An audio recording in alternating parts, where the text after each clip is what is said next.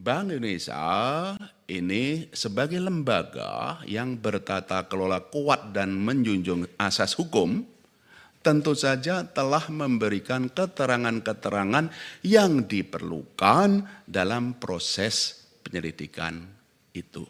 Ya, itu yang pertama. Ya, yang kedua, kami tegaskan bahwa proses yang kami lakukan dalam CSR selalu berdasarkan tata kelola, ketentuan dan prosedur yang sudah berlaku. Ya. Ketentuan, prosedur dan e, tata kelola yang berlaku itu mencakup dua. Mengenai e, prosesnya maupun pengambilan keputusan. Yang ketiga, Mengenai CSR atau PSBI itu diberikan dengan tata kelola sebagai berikut. Bahwa CSR atau PSBI itu hanya diberikan kepada yayasan. CSR atau PSBI tidak diberikan kepada individu. Oleh karena itu, yayasan-yayasan yang memenuhi persyaratan. Bidangnya ada tiga bidang utama PSB atau CSR itu diberikan untuk tiga bidang, yaitu adalah pendidikan. Pendidikan itu apa? Bank Indonesia memberikan beasiswa mungkin sekarang sudah lebih dari 100 ribu setiap eh, 10 ribu ya. Penerima aktif 11 ribu. Penerima aktifnya 11 ribu. Akumulasi eh, ratusan ribu. Yes.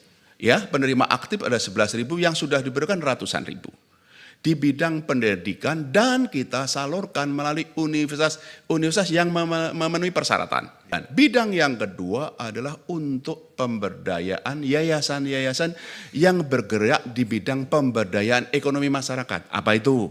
UMKM maupun yang lain di berbagai daerah. Itu adalah seperti itu.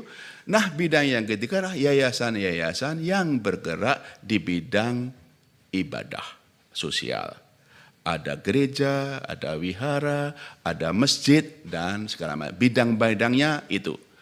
Nah, persyaratannya apa? Yayasan-yayasan itu harus memenuhi persyaratan. Satu, merupakan lembaga hukum yang sudah sah.